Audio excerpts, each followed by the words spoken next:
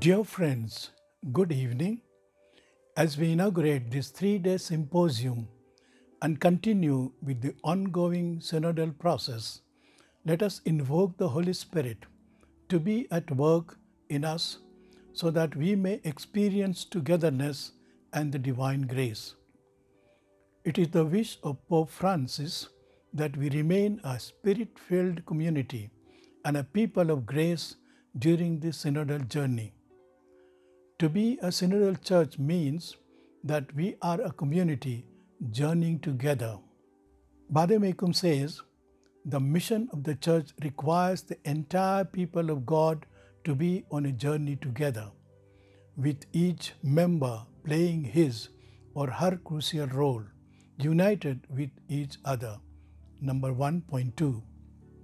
Now I invite you to join me in prayer. O Holy Spirit, we have gathered here together in your name. We invoke your holy name with total surrender and humility. We fully depend on you and you alone for all assistance. Make our hearts your sweet home. We begin the symposium in the beautiful and calm ambience of this evening. We thank you for these precious hours.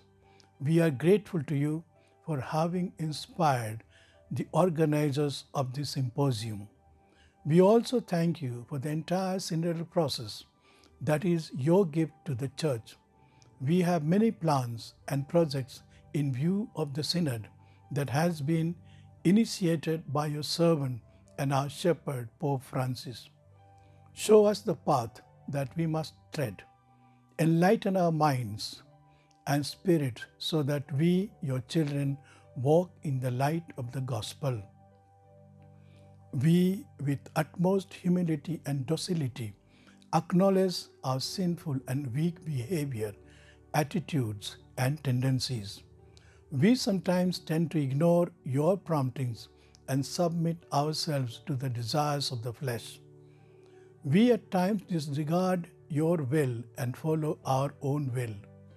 We have been more inclined to the movements of today's boisterous world, which is characterized largely by a noisy and sometimes deceptive media. We are sincerely sorry for all these sins.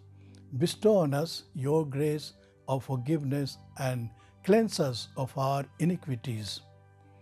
As we walk the path of synodality, we implore your grace and guidance.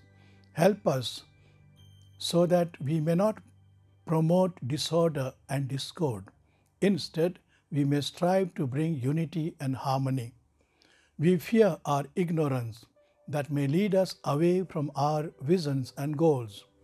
Remove our ignorance with the light of your wisdom.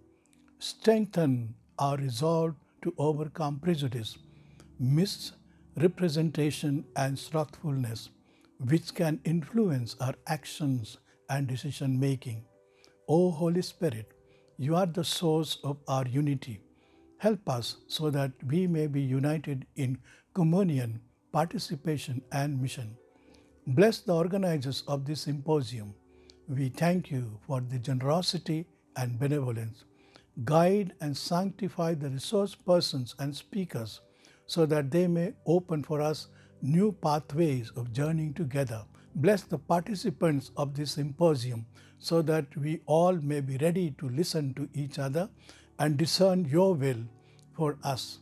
As we proceed on the synodal journey, help us to embrace conversion and change.